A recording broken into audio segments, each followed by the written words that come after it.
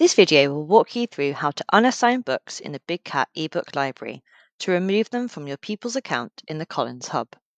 On the main eBook library screen, click on the Shared Content button in the bottom right corner. This will bring up a window that will initially show all the books you've assigned to your pupils. If you wish to unassign a book to all the pupils who currently have it in their libraries, you can click the Bin button next to the book and then confirm your deletion. You can choose to delete the book from selected students only by clicking the pencil button next to the book. Make sure you're toggled over to selected pupils. Click Select, and this will show you a list of the students in the class.